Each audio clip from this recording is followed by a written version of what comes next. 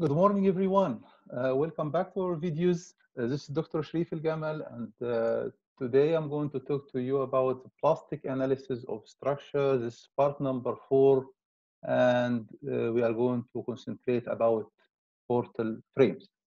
Uh, please don't forget to subscribe and uh, click the bell and turn on notifications to receive all new videos, and please share with, with all of your colleagues to share the knowledge.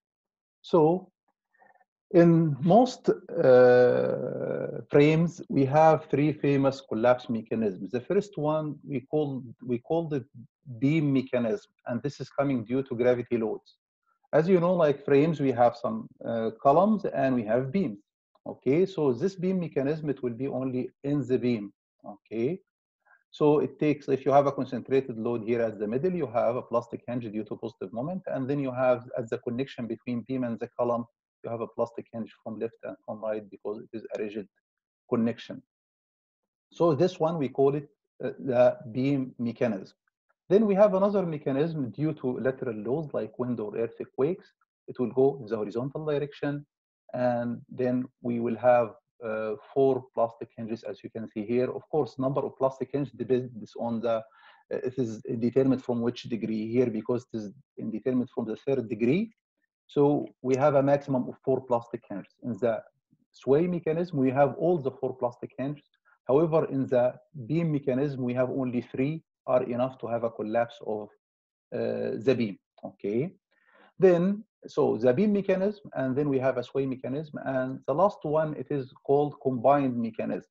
This combined mechanism is coming due to gravity loads and also due to lateral loads. How we draw this combined mechanism? First of all, we start with the sway mechanism. Okay, so it will be like horizontal here. This is the sway mechanism.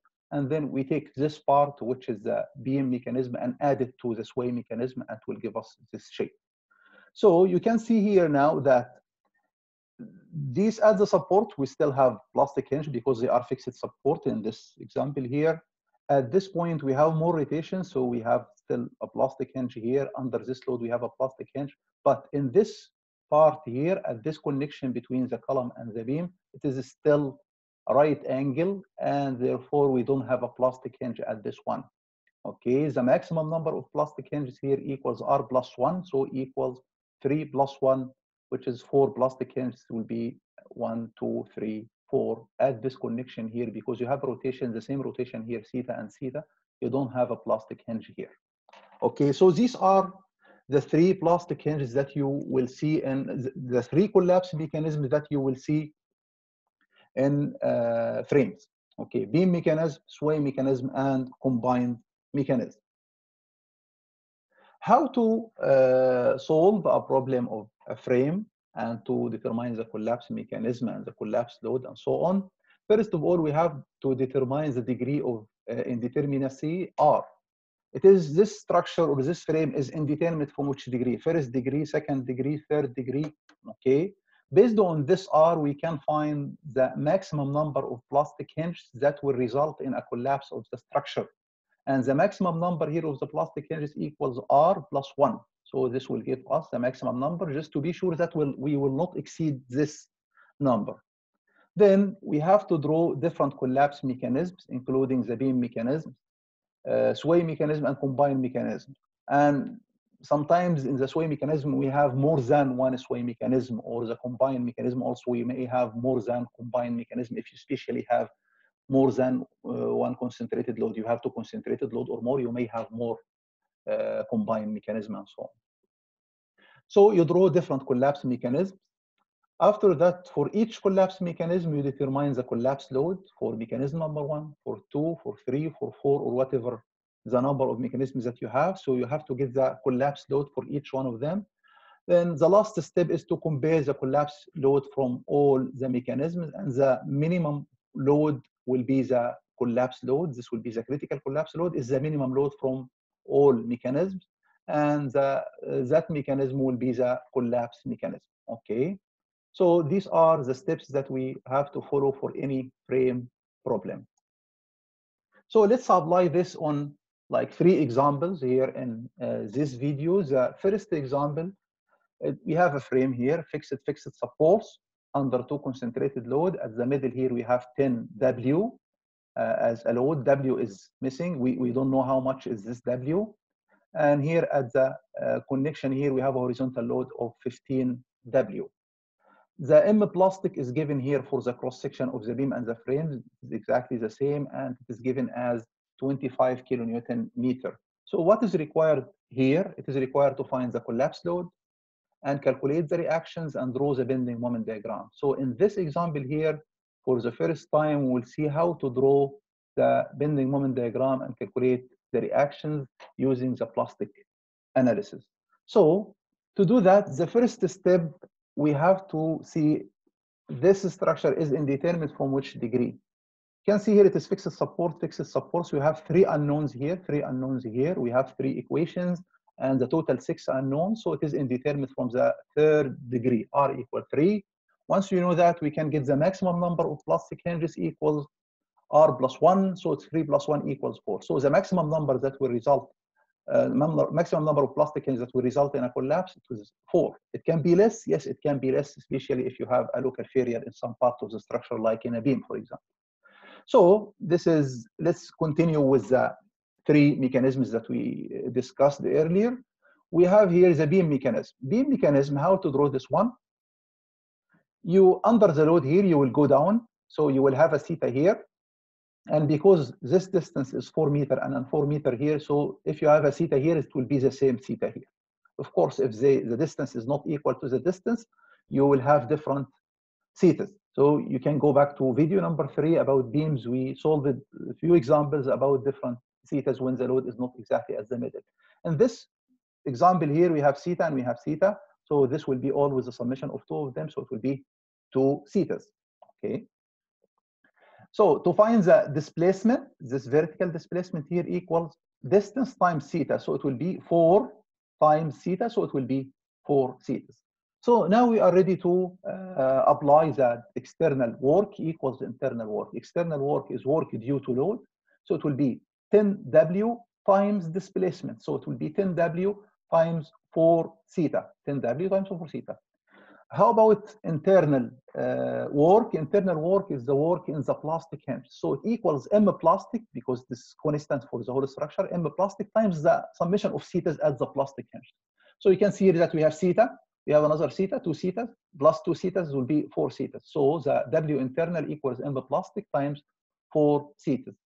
Now we say make equilibrium W external equals W internal. So 4W times 4 theta equals M plastic times 4 theta. We can remove 4 theta with 4 theta and we can get W.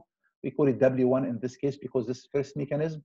W1 equals M plastic divided by 10. And because M plastic is given in the problem as 25, so we can say 25 over 10. So it gives us a value of 2.5 kilonewton. This is W1, the first collapse load from mechanism number one, which is the beam mechanism. We are going to repeat this with the sway mechanism. For the sway mechanism here, we assume that will go horizontally because the load is pushing to, to, to the uh, right direction. So we will have a theta here, another theta, and the same thetas here. This, in this point will come like an important uh, point I should mention here, because this height here is similar to this height here. So if you have a four, this four theta displacement here, it will be the same four theta displacement here, okay? And because the height is similar to the height, so you will have the same theta. Theta here equals to theta here, and theta here equals to theta here. However, if you have a problem with like, let's say, this is four meters, another here is eight meters, so you will find that you have a different theta here. If this is 8 compared to 4, you have half theta here and half theta here compared to the other one. Okay, you have to try this yourself. But in this problem, we have height equals to the height, so the displacement will be similar to the displacement, the theta will be similar to the theta. So this displacement here is 4 times theta, and the same, same displacement, if it, uh, the displacement is 4 theta here, it is 4 theta here. To get the theta, divide 4 theta by 4, it will give you a theta. Okay. So once we did that, you define the thetas, you define the displacement. You can say external work equals internal work. External work is the work due to load, 15W times displacement, which is the 4 theta. If it moved 4 theta here, it is the same displacement here. So it is 15 times 4 theta. Okay, how about internal? It is M plastic times summation of thetas at the plastic hinge. How many thetas do we have here? One, two, three, four. So it will be M plastic times four thetas. We'll say W external equals W internal. Then 15W times 4 theta equals M plastic times 4 theta. Remove 4 theta with 4 theta.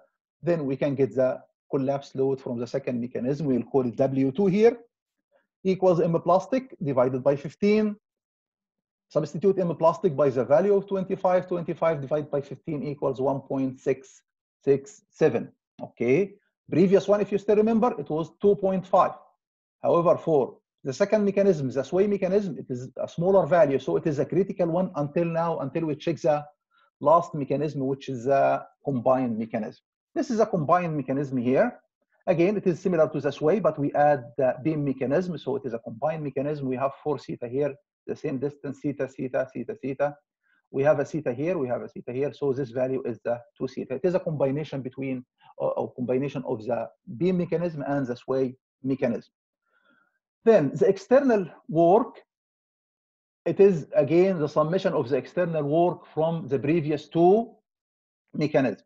So it will be 10W times 4 theta.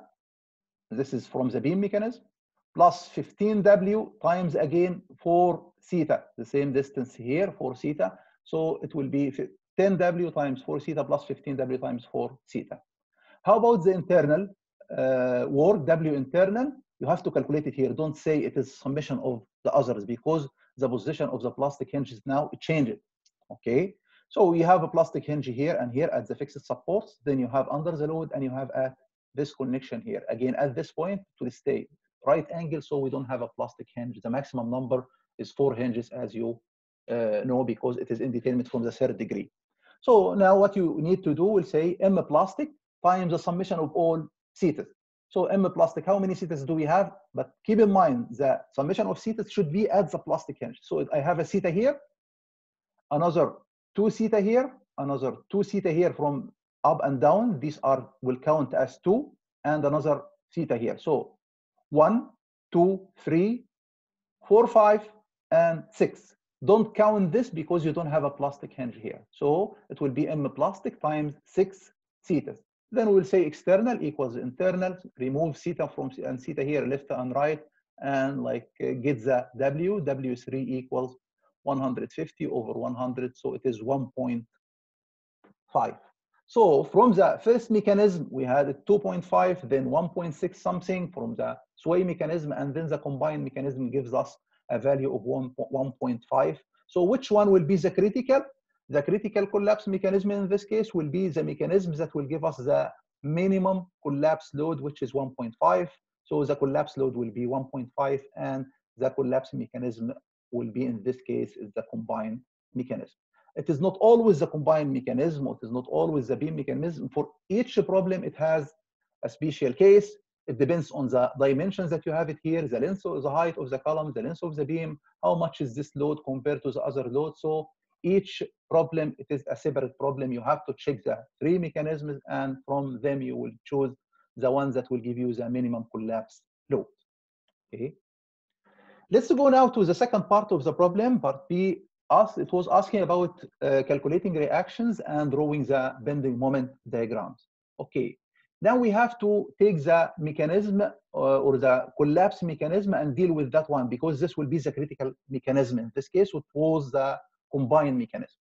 For the combined mechanism, as you know, we have plastic hinge at the supports, we have a plastic hinge at this connection, and we have a plastic hinge under this load. At any plastic hinge, we know that the moment there will be the M plastic. Okay, the moment will be the plastic moment or M plastic. So we have an M plastic here, M plastic here. We have M plastic at this one, and we have M plastic at this one here. We can use this one to uh, our analysis and get the reaction, and then we can draw the bending moment. To do that, to get the reaction, let's divide the frame. We'll take first the first part, which is CD. Take part CD, and this will be this part. We have a moment here M plastic. We have a moment at the top again. It is M plastic. And the unknown here will be the reaction, uh, the horizontal reaction at D, which we call it XD. To do that, we take a moment at point C for this part. Even if we have a vertical reaction here, it will be like multiplied by zero for the lever arm will be zero. So just neglected now, it will not affect. So take a moment at this point. So we'll say M plastic plus M plastic, okay, minus XD times four equals zero. M plastic plus M plastic minus XD because it's in the opposite direction times 4 equals 0. From here, we can get, get the XD. XD equals 0.5 M plastic. M plastic in this problem it was 25. So it is 12.5 kilonewton meter. No, this is XD, so it is only kilonewton. We have to remove this one. This, this is not kilonewton meter. This is by mistake. So it is 12.5 kilonewton. Okay. Then we need to find the vertical reaction at this point. Okay. To do that, we'll go and we will deal with another part of the, the problem or the second part of uh, the frame. We'll be dealing with the first part here, which is the uh, ECD. ECD. For the ECD, we have a moment here M plastic. We have another moment here called M plastic. And at this connection, we have two M plastic. You can even neglect them because they are eliminating each other. Don't forget to put the load that you have it here. You have a load here also, but we will take a moment at this point so it will not affect. We have the horizontal force at X that we calculated 12.5, and then we have a vertical uh, force Y at D, which is unknown in this case. To find this YD, we'll take a moment at E for this part. Take a moment here. So we have M plastic minus M plastic are eliminating each other. Okay, here. Plus 12.5 times 4, 12.5, take a moment here, multiplied by the lever arm times 4, minus, because it is the opposite direction, this is clockwise rotation, this is YD times 4, it is counterclockwise, so it will be minus YD times 4. From here, you can uh, calculate the only unknown, which is YD equals 12.5 kilonewton, and it is going up. So we found the 12.5 kilonewton. Once you did that, you have 12.5 and you have here 12.5. So these are known now. To find the other forces here, we can use the equilibrium equation in the x direction and the y direction. So start by the equilibrium in the x direction. Summation of force in x direction equals zero. So we have 22.5 and minus 12.5. So to be in equilibrium, you should have here xa equals 10 kilonewton going to the left side. And summation of force in y direction, you have 15 minus 12.5. So the YA equals 15 minus 12.5 equals 2.5 kilonewton upward. Okay. Now, to be sure that your answer is okay, you have to make a check. You have to check a moment at one point here for the whole structure at any point, and you should be sure that the moment summation of moment for the whole structure equals zero. This is what I did, and it was fine. So it means the reactions are okay. So now we can move to the last step about drawing the bending moment diagram. Again, we have a moment here in the plastic, in the plastic, in the plastic, in the plastic. Okay, so I know directly the moment at these connections here, they are in plastic. So let's draw the moment in the compression side at the head of the arrow. There are two schools here in drawing the bending moment. Some people, they draw it in the tension side. Some people, they draw it in the compression side. Here I'm going to draw in the compression side. Then at the end, I will show you the shape in the tension side if we draw the moment in the tension side. So for the first part here, we have an M plastic. So 25, the value of M plastic is 25. And then at the top here, we have another M plastic. So I draw it in the compression side, 25, 25, and it will be a linear uh, line between both of them. If you have a 25 here on the beam, so it should be the same value in the, uh, if you have a 25 on the column, it should be the same in the beam, which is M plastic here. So it will be 25. Here also you have an M plastic, but will be at the top. Okay, so 25, 25. At the end here, we know that the value of the moment is less than the M plastic. We will see how to calculate this now. We can calculate it from this left part. If I take a section here and calculate a moment for this part, for the, the left part, so it will be M plastic here, 25 counterclockwise, and here minus 10 times 4 clockwise rotation. So 40 minus 25, so it will be 15. So the value here will be 15. And at the bottom, of course, it is 25. Uh, now, above here, it is positive, positive outside, and inside it will be like a negative value. This bending moment is based on uh, the school that draws the bending moment in the compression side. If you want to draw the bending moment in the tension side, it is exactly the same, but we'll just make a mirror of the bending moment. Like this moment here, it will be just the opposite. If the, the, we put the positive will be inside and the negative will be outside. Here, it will be again, we make it a mirror about the uh, beam axis here. So it will, this 25 will go down and the other one will go up. Let's see how it will be the shape. This is exactly the shape like this one. This is correct. This is correct. Still here is positive and here is positive, but, but in this one, it is based on drawing the moment uh, uh, on the tension side. Here, we draw the moment in the compression side. Okay, this is, the end of example number one. Let's go to example uh, number two. In this example, we have a frame which is only have one column and only one beam. You have a roller support here, you have a fixed support here. And you have again two loads, one horizontal and one vertical, which are equal. In this case, the height here is 2L. However, here it is L over 2 and L over 2. Again, the first step is to see this structure, it is determinate or indeterminate. If it is indeterminate, indeterminate from, uh, from which degree? We can see here that we have three unknowns plus another unknown for the roller here, vertical reaction. So the total number of unknowns are four, and we have three equations. So four minus three equals one. So it is indeterminate from the first degree. If it is indeterminate from the first degree, so the maximum number of plastic hinges that will form a collapse mechanism will be R plus one equals two. So you should know now that you cannot exceed this number. The maximum number of plastic hinges should be less than or equals two. Okay. Then let's now see the three mechanisms we have here. The first case will be the beam mechanism under this load. We have it will go down, and then we have a, a plastic hinge at the connection between the column and the beam. We have a plastic hinge under this load. If we assume here this is theta, because of symmetric here, this distance is the same, so it will be theta. This will be summation of the two, theta and theta, it will be two thetas. This height here, it will be length times theta, so it will be 0.5 L theta. Okay, once we did that, we can calculate the external work and internal work. External work equals work due to external load, W times 0.5 L theta. W times 0.5 L theta. This load times this distance. How about internal work? Internal work equals M plastic times summation of thetas at the position of the plastic hinge, not here. Here there is no plastic hinge, so don't make a mistake and count this value. We have here theta plus 2 theta, so it will be M plastic times 3 thetas. Okay, make equilibrium, we find the W1 or the first collapse mechanism, first collapse load from the beam mechanism equals 6 M plastic divided by L. We are going now to try the second mechanism, which is the sway mechanism. It will go horizontal because this is a roller support. It allows us to go horizontal. If it is a pin support, you will not have a sway mechanism, of course. If in a problem like this, but this one is a pin support, of course, you will not have a sway mechanism because it will not be able to sway. You have a beam mechanism for the uh, beam, and you have similar also beam mechanism, but for the column, or we can say it column mechanism similar to the beam. This will be the only two mechanisms that you will have. But here it is a roller support, so it will allow you to move. We have a sway mechanism. If we assume here theta, this will be theta, and this distance here equals L times theta, or 2L times theta, the, span, the length times theta, so 2L times theta, will be this value. Then we'll say external work equals internal work. External work is coming now due to this load, W times 2L theta.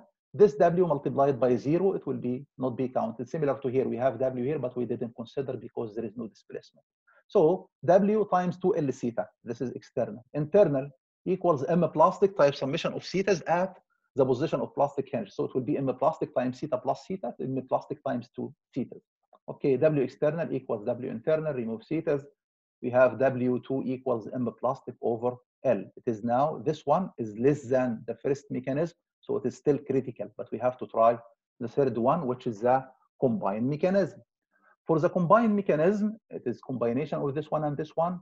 So we have a plastic hinge here and we have a plastic hinge here. Because this is theta and this is theta, is still this angle here between the beam and the column is still a right angle. We don't have a plastic hinge here.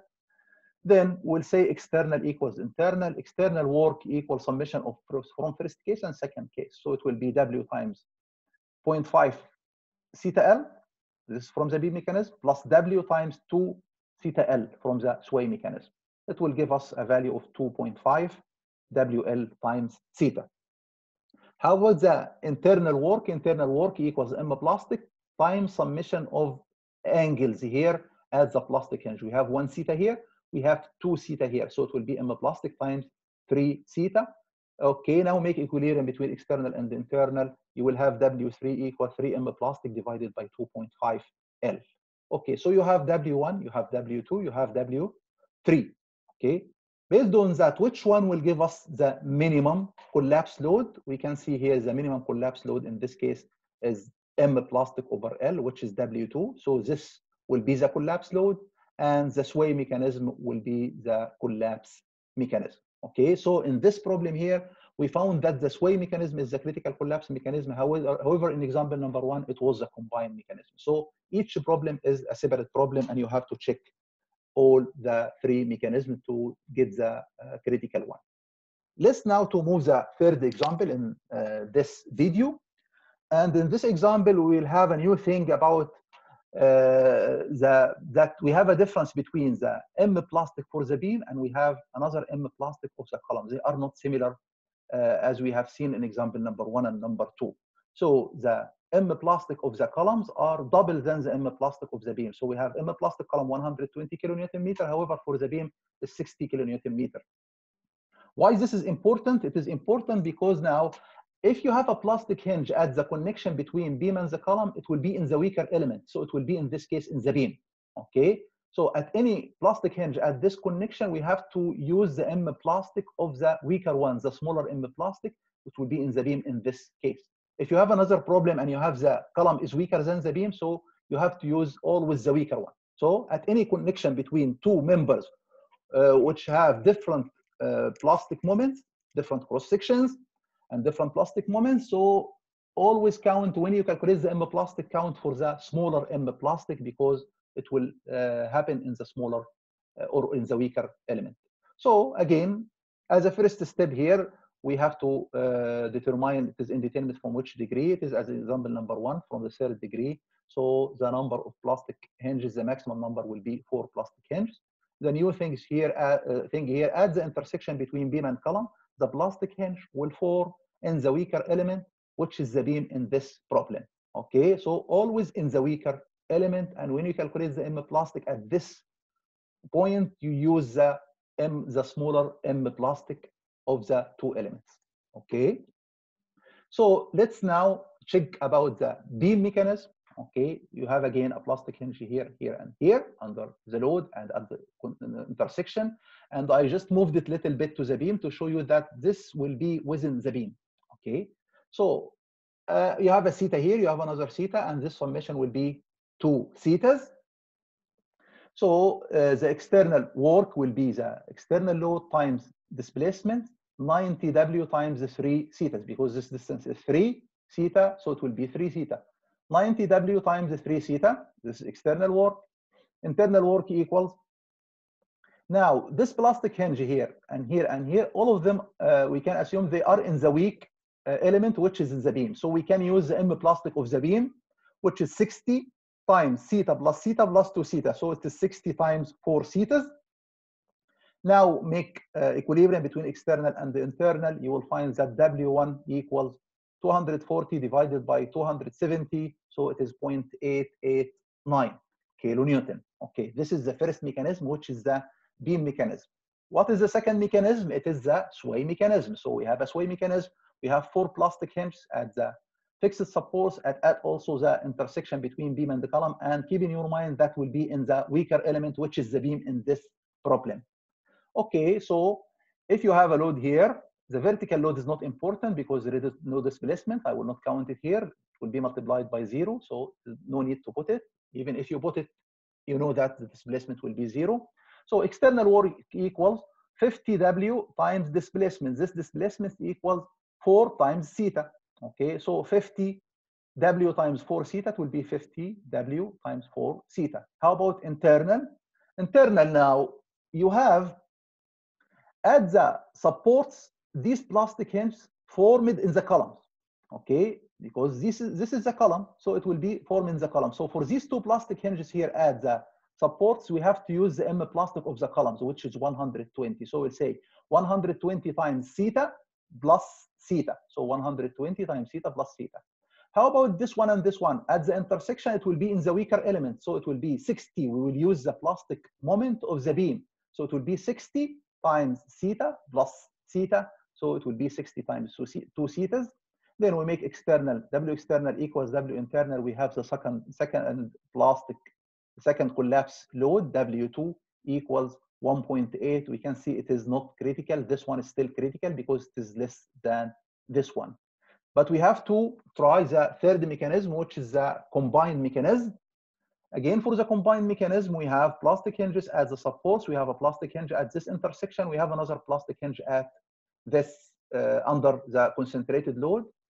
Now, the external work equals summation of the external work from the first case and the second case. So it will be uh, 270 here, 90 times 3, 270 W times theta, plus 250 times 4, 200 W theta. So this will be W external.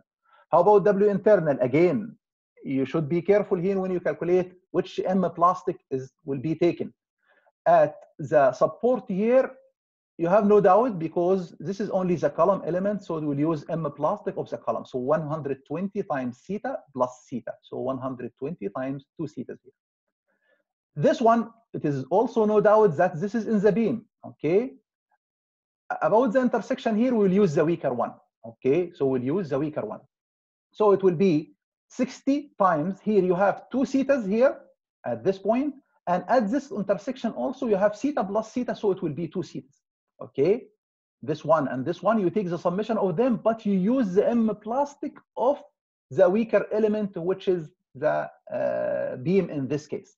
Okay? So it is exactly similar to the, the, the previous examples. Okay? Uh, also draw it the same but at the intersection take the summation of thetas as we did before but we multiply it by the weaker m plastic the, the smaller m plastic or the weaker uh, the, the weaker element for the weaker element so we did that. We make W external equals W internal. So summation here 470 W times theta equals summation of those, those values here for internal. We get the W3 equals 1.02.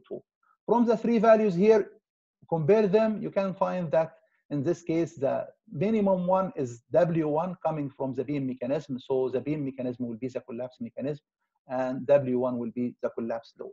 In this example, we found what? We found that the beam mechanism is the critical one. However, in example number two, it was the sway mechanism. In example number one, it was the combined mechanism. So as I told you, just you have to uh, solve a problem by problem and based on your uh, the numbers and the uh, M plastic and the space or the distances here, the geometry, everything will affect and based on your calculations, the ones that will give you the minimum load, this will be the critical uh, case and this will be the collapse mechanism. Thank you for watching and uh, looking forward to see you in coming videos and goodbye.